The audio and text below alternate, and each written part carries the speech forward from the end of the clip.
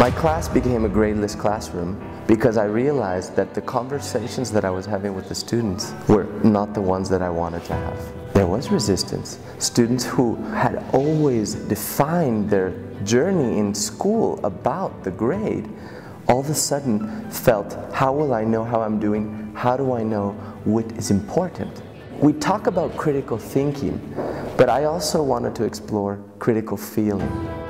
My bet as a teacher is I'm taking a long-term bet. They're only with me for two years. So my class is not only about global politics, but it's about self-cultivation. I've invited students to produce and develop month-long passion projects.